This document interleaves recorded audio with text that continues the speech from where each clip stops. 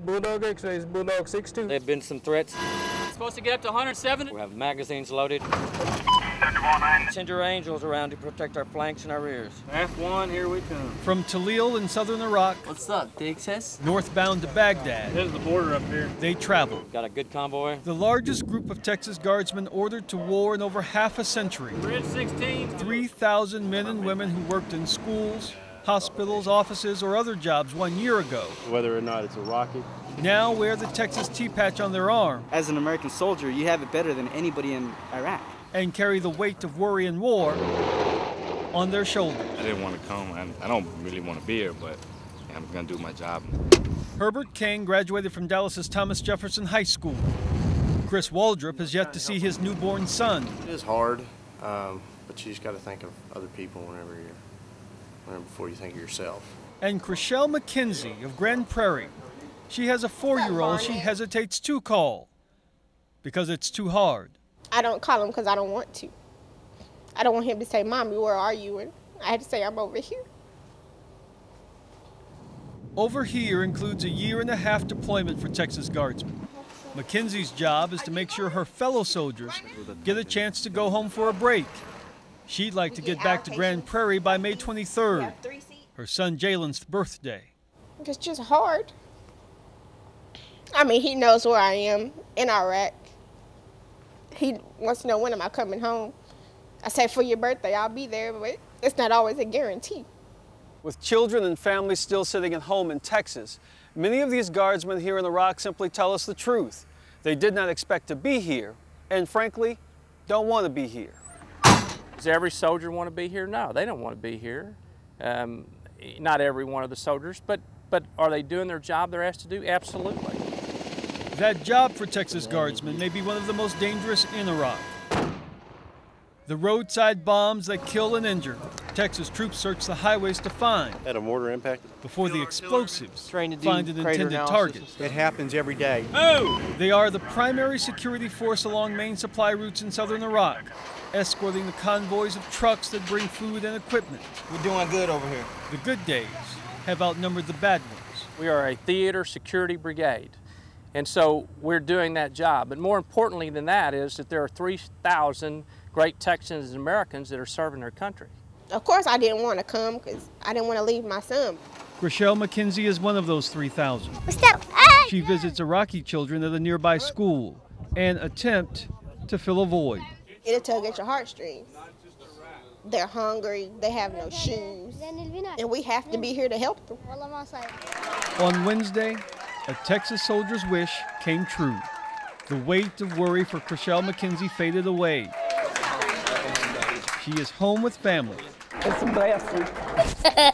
Back with her baby for his birthday How you been, mister? before she heads back to Iraq with her fellow guardsmen. What we gonna do? Steve Pickett, CBS 11 News, Baghdad, Iraq. Play. With the what? Secure that gunner. It's going along downtown Baghdad. is Really looking for snipers on roofs. Make sure no one's going to fire a mortar or a rocket. Our threat level's gonna go up. Every day, all day, Situation goes right the now. citizen soldiers of Texas We're getting a mortar hit. are on the hunt. We watch out for them. 18 year old Jonathan Grant overlooks a hot zone of violence. Graduated October. I was home for about four months. Got married, and they shipped me off. They do have people that are watching us. Lieutenant Ben Garcia was working for a company in San Angelo A year ago, surprised to be here. Captain, and on guard on the streets of Tikrit, watch out, barrier. two brothers from El Paso, Alejandro and Jesus Sainz. Actually, he's the one who got me into this mess. I joined the National Guard because uh, he was a member of it. They are four of the 3,000 Texas Guard members now assigned to military duty in Iraq. Full time employees or students just a few months ago, now trying to find the bombs that have become the weapon of choice in Iraq. Patrollers with the Texas National Guard search Iraq's explosives alley, the main highway between Kuwait and Baghdad. This is how we find some of the munitions that are out here. Just uh, talking with some of the local nationals. They guard five military camps strategically stationed throughout the country.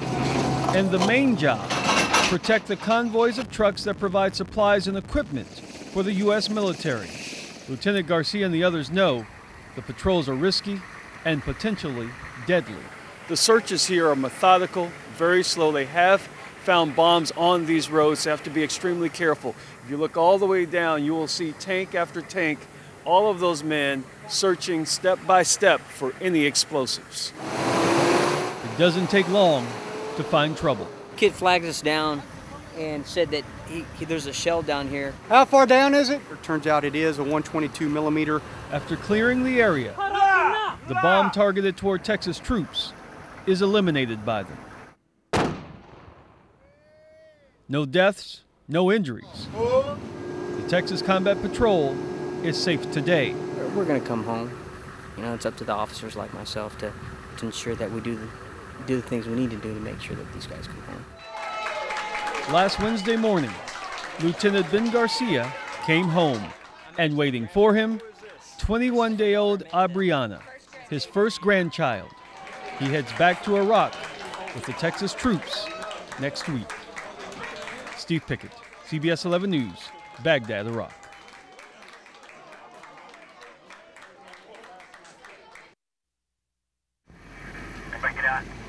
Driver, TC. They all wear the same uniform, all taking the same risks Captain. with their service in Iraq. 98% of the 3,000 members of the 56th Brigade Combat Team of the Texas National Guard are men. Got to try to keep your arms still. Or Michelle Thompson out. Does it hurt here? is part of the other 2%. I volunteered You to come here. I did. Thompson left her job.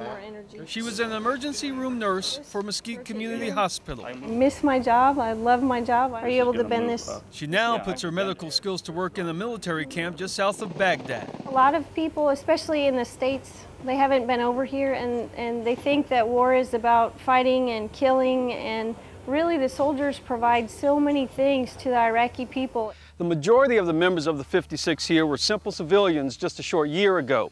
Business owners, nurses, school teachers. Many of them tell us, however, they're really concerned about having those jobs when they go home. They call me Mama Oates. Verna Oates worked for the Social Security Administration in Fort Worth. The mother of three is now a soldier's best friend, the mail delivery. The job back home may not be the biggest worry for her. I got mail. That's because she is not the only member of her family mail when I go out the door. in Iraq. Her son serves as well. But she believes in the military mission she and her son work to fulfill. I see that we're helping them understand that they have other opportunities and can better themselves and further their lives. Verna Oates Smashed it pretty good. and Michelle Thompson Right are just two of the women from the Dallas Fort Worth area spending the next year in Iraq. One heals the injuries of soldiers, the other offers a little motherly love Oh, you have a good day. and the little mail. Another happy soldier. Steve Pickett, CBS 11 News, An Nasiriyah, Iraq. The work for Texas Guardsmen in Iraq is focused and direct. Keep military camps clear from attack, keep critical supply routes free from assault. There's also another job, and it takes Texans directly down the path into the world of Iraqis and Iraqi children. In the Dhi Qar province of southern Iraq, I'm Steve. in the village of Al Zebin, the members of the Texas force, now part of Operation Iraqi Freedom, are getting a lesson on life in school through the lives of Al Zebin village students. The conditions are cramped, like caves carved from clay. Sometimes there are snakes. It has been this way for hundreds of years. And uh, I appreciate what you're doing for To build a relationship with the village, Yes, they are very happy, all of them. to achieve a military goal of changing hearts and minds. The 56th Brigade Combat Team of the Texas National Guard helped build a new school. It is a symbol of a new relationship between Iraqis free of Saddam Hussein's reign and the American forces who offer school backpacks but still carry weapons loaded with bullets. There may be dialogue and discussion here, but there still is danger. Even here inside the school, we're required to continue to wear our security helmets and our vests. The school is called Al Mashai, which in English means the torches of the future. Teacher Amar Hashim educates Iraq's future. Of course, they appreciate building a new school, and they are very grateful to the American forces. The school may benefit the village, but it is also viewed as a critical component in the war. Providing the, the essential services for the community, especially a school for the primary age school children, is, uh, is a tremendous benefit to the people of Iraq. And it helps our brigade's mission because it sustains support for the coalition forces. The school has also become a morale enhancer for the soldiers themselves. With Texas troops always on the lookout for mortar attacks and rocket assaults, getting hit with a smile from the children of Al Zebin is a mission many gladly accept. Steve Pickett, CBS 11 News, Dhi Qar Province, Iraq.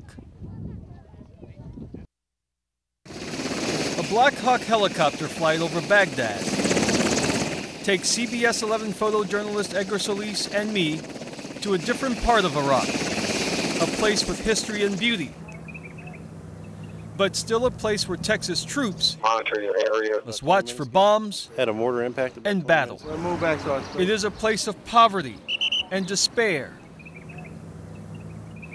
Until you see the banks of the Tigris River from the hillsides of luxury and opulence, a Shangri La in Iraq.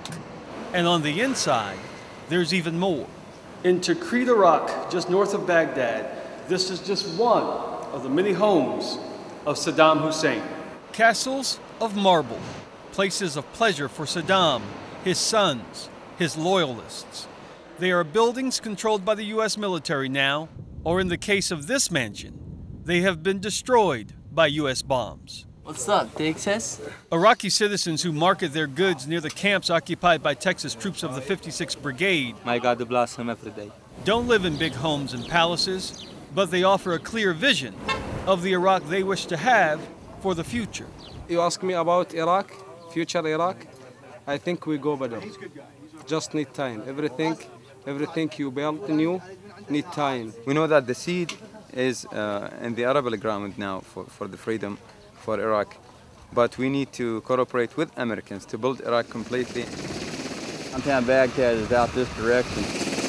In Baghdad, 250 Texas troops surround a camp with these buildings as a backdrop. Saddam Hussein's victory over America Palace sits ironically unfinished. The other structures, also damaged, are now under U.S. control. And the men and women doing the work at these locations are Texans. I was back in Grand Prairie. Ariel Garcia works for the Grand Prairie Police Department. There's still a lot of bad stuff going around around here for us not to continue to come here. So uh, I, I knew it was my turn to come. Jerome Hawkins, a father of three from Arlington. Everybody here is uh, basically doing the best they can at, in the situations that they're given, the conditions they're given, and uh, just keep on praying for us, keep us in your prayers, you know, and, um, and we'll be home here in about eight more months. 3,000 Texas National Guard members serving around the nation of Iraq, some near the majesty of Saddam's legacy, others near the villages of poverty. Steve Pickett, CBS 11 News, Baghdad, Iraq.